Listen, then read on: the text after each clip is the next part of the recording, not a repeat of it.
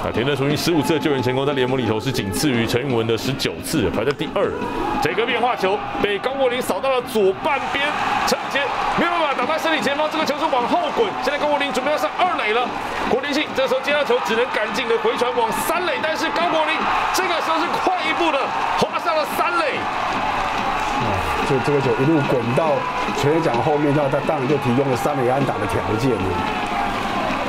所以原本有机会是挡在身体前面的一垒安打，这一次陈敏杰决定要赌赌看，但是就有点犹豫哦。嗯。所以一开始来讲的话，到底要选择让他先落地，还是拼拼看？但最后好像有一点点在犹豫的过程当中，最后球其实就有一点点弹的比较高啊。但这颗球其实田泽自己也没有投好。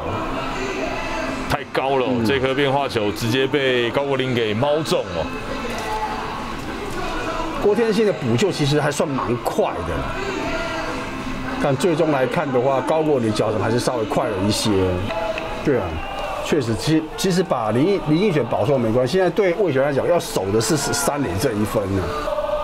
田泽在进远了林奕泉之后，这个投手正面的反弹球，先把三垒上的跑者给逼退了。田泽再把球往一垒传，两好两坏，这个球出手打上了三垒方向，被拦了下来。吴东荣对角传向一垒，两出局。哇，这个球真的守得好了。高国林这个球如果要跑，应该也没有办法回来得分了。因为觉得这个球已经打得很好了。所以吴东虽然上一次有发生输，但这个球确实是守的蛮关键的。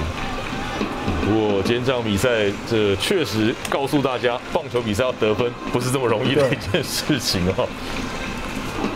眼看就要穿出去了，最后还是被吴东给拦下。一好球之后，这一棒打到游击防区，结果有一手接到之后传向一垒，三出局，结束了十局下半，富邦悍将的进攻，十局上两个残垒，十局下半田泽春也让富邦留下了两个残垒哦。